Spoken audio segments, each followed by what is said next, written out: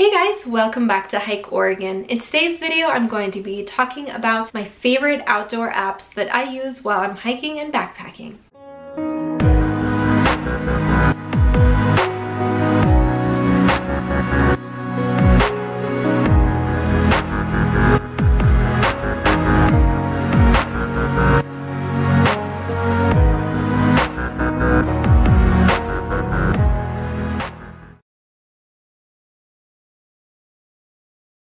You are new here, welcome to the Hike Oregon family. I make hiking and backpacking vlogs, as well as gear reviews and general tips and tricks videos to help you become a more confident hiker and backpacker. If you are interested in videos like that, click that red subscribe button and hit that notification bell so that you are notified every time I upload a new video. Okay guys, so I'm actually going to turn my phone around so that when you guys watch this, you don't have all this dead space in the YouTube video. So I am actually actually going to turn the phone like this so that it encompasses the entire screen. Okay, so as you can see here, I have a hiking folder with all of my hiking apps in it, and we're going to start off with some basic GPS apps. So the first one here is Motion X GPS, and it's a free GPS app for iPhones only. I really wish they would make it for Android because it is a really, really great app, and I really enjoy it. It is the first GPS app that I started using. My husband introduced me to it because he used it for his motorcycling and his mountain biking, and he said that it worked really well. So I started using it for hiking, and I absolutely love it. And I've been using it for about six years now. It has always been pretty accurate with mileage and elevation gain, and I actually have a whole video where I reviewed this app specifically. I'm not going to go too much into detail in this video just because you can go watch my entire review video where I go into a lot of detail about all of the specifics and all the things you can do in this app.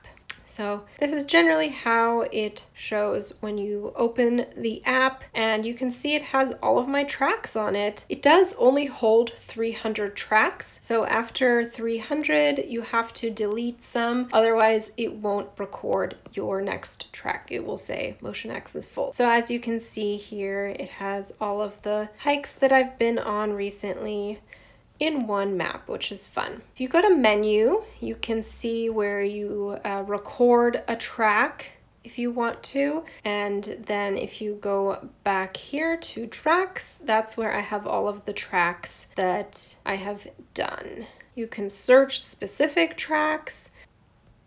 So Smith Rock, for example, you can search here. I'm to turn this back around just because it's easier to see like this. If you have a photo, you can put it there. If you view details, you can put in notes. You see your time that you hiked, your mileage, your elevation gain, and your elevation chart. And the main reason why I use this app is because it's really easy for me to share it with myself and send it to myself on the computer. So I basically just go to share and then I send it to my special email that I have just for tracks and I can also airdrop it to somebody if someone asks me for a track. I'm happy to share it with people as well. That's the main reason I use this is because it gives me a nice GPS track that I can then use for my website. Okay, next we will go to Gaia GPS. Gaia is an app that has a free and a paid version. The paid version is $17 for one year and you can download worldwide maps and you can choose different map layers like topo, road map, or satellite. I just use the free version just because I only use it for tracking really and it is definitely one of the most accurate GPS tracking apps as far as mileage goes. I have noticed that it does tend tend to undercalculate the elevation gain a bit, but the mileage is always absolutely spot on. So if you just open it, it comes up as a map here. Again, you can see all of the tracks that I have done. This one holds more than 300 tracks, which is nice. And if you are on a hike and you want to start recording, you just hit this record button in the upper left hand corner and it'll start tracking your hike. The cool thing about this is that if you go to your saved hikes, you can actually organize them into folders. So I have them organized as types of hikes. So I have waterfall hikes, like rocky desert hikes, snowshoe trips, forest hikes, rivers, uh, lake hikes, and view hikes. If you, for example, go into my waterfall hikes, then you can go down here and see all of my waterfall hikes, which is really cool because just having a long, long list of hikes and having to scroll through those is a big pain when you're looking for a specific hike. I mean, yes, you can search hikes, but sometimes people are just like, oh, what's a great waterfall hike? I'll just go into my waterfall folder and look for these. Now, I have only had this app for a little less than a year, so I don't have a ton of tracks in here, but this is definitely one of my favorite tracking apps so far. Next, let's go to Strava. Strava is just a fun tracking app mainly used for social purposes. I only use it for the social aspect of it. You can go follow me on Strava. I'm just Hike Oregon on there, and you can see what I hike when in almost real time. So obviously you're not going to see me hiking as I hike, but you know that evening I will upload my Strava track. So you can just see what hike I just did. And I always make sure to put notes on there as well. So this one looks like it won't let me turn sideways, so I'm just gonna have it like this. Just open it. Look, I have like 22 followers on Strava. I feel like Strava is used a lot for like biking and running and that kind of thing. It's a very nice training tool. I just use the free version, but the paid version costs $5 a month and it offers so much more than the free version. Like heart rate analysis, it calculates how many calories you burned, it keeps track of all of your hikes, whatever you're doing, runs, and adds up all of your miles and elevation gain on like a handy chart. So it definitely does a lot more than the free version. I just, like I said, use it for fun and for the social aspect of it so that you guys can see what hikes I'm doing in real time. So if you go to my activities, you can see that I've done zero hikes in the month of March, but here are some of my tracks that I've done recently.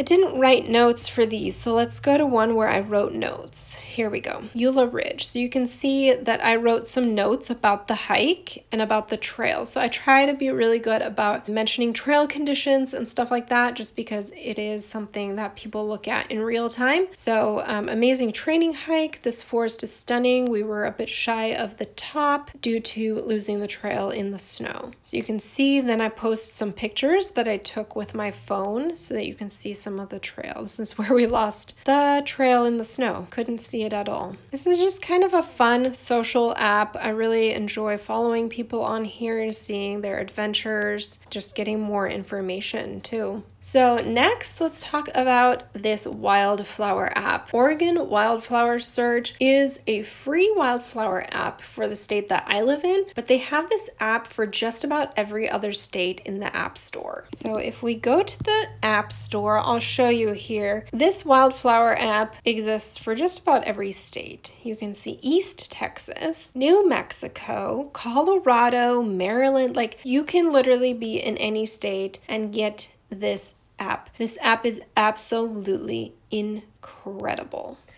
Okay, so basically in here you can look for anything. Let's reset this. It has 3,800 plants. Let's say you're on a hike and you found a flower and you have no idea what it is. You could also search shrubs, trees, vines, cacti, grasses, and different ferns and mosses too. The beauty of this app is that it works without service, which a lot of wildflower apps, actually ones that you have to pay for, don't work without service, which I think is stupid because you want to know this stuff while you're hiking. I think I never take a picture of a flower and and say, oh, I'm going to look that up later. I never look it up later, right? So it's so fun to look it up while you're hiking. So let's say you find a flower and it's yellow. So you click flower and you click yellow and then it asks you how many petals it has. So let's say it has five petals. And you can see up here it starts narrowing it down. Let's say it is one inch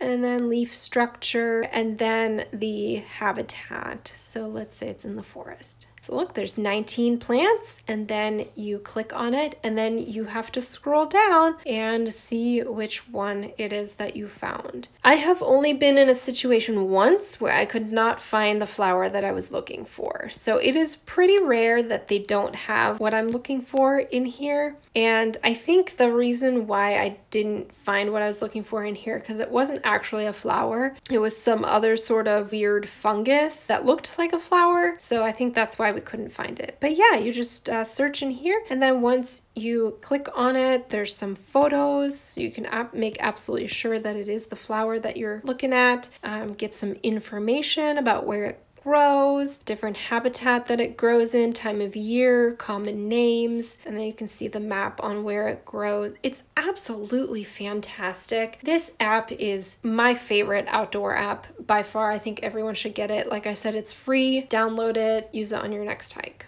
Another app that I use constantly is Peak Finder, and it's an amazing app that I use literally on every single hike. I know most of the mountain names and stuff, but as far as like the buttes and the hills and stuff, I don't know all of that. So this is fun to use. It's $4.99, but totally worth the price. So if you open it, it basically shows you where you're at, and then you can zoom in or out, and it'll show you literally the names of all the hills that you are looking at. So when you move your phone, it will move this, right? So if you move move your phone over here, it'll move and it'll move with how you move your phone. You can zoom in to get more details. I mean, it literally shows this tiny hill.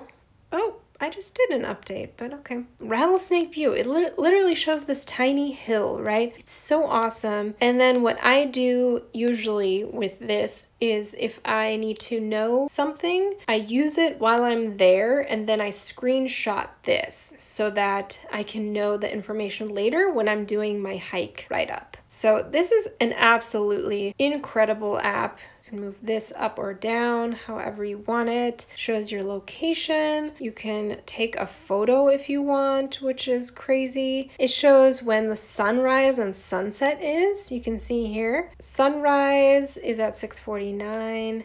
Sunset 1802. It's just an amazing app. Highly recommend that everyone get this. It's super fun to be on any sort of viewpoint hike and see what is around you. The Coros app is just my app that I use in conjunction with my GPS watch. If you want to go see that, I have a full video of all of that information I can link right here. Next, let's go to Guthook app. This is an app that I paid for when I attempted my through hike of the Oregon Pacific Crest Trail section, but it has come in handy numerous times since that hike two years ago. So if I click on Guthook's guide, I can see basically the entire PCT through Oregon. I only paid for the Oregon section, which is $6.99. You can obviously buy different sections of the PCT. You can buy the entire PCT. You can buy different trails. They have a ton of different trails as well. I love the Guthook app because it shows obviously the map, it shows the trail, it shows where water is, it shows just a bunch of stuff, notes,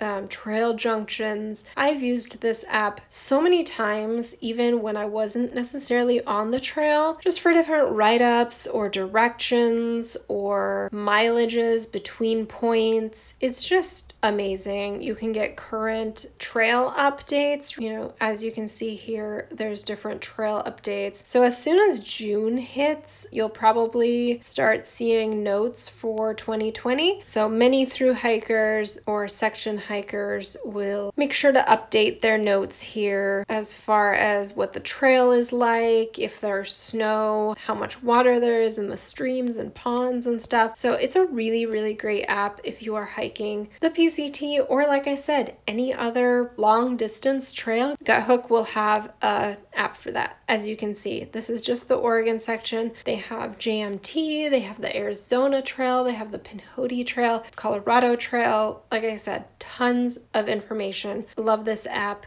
And then the Garmin EarthMate app is my free app that is compatible with my Garmin InReach. So I really only use this app if I need to type a message through the Garmin, which is usually only on backpacking trips. So here we go. It just opens it to my current location. As you can see here, these little blue things are all the points where I have sent a message from. Basically, if I were to send a message, I would go here and um, I can just easily type a message, which is really nice. This also has a compass, which is cool. And then it has my history of when I sent different messages through my Garmin. I can also start tracking through here and stuff if I want to, but I don't have the plan that offers a ton of tracking, so I generally don't use that. I can get the weather through here, which costs a little bit, but it's really handy if I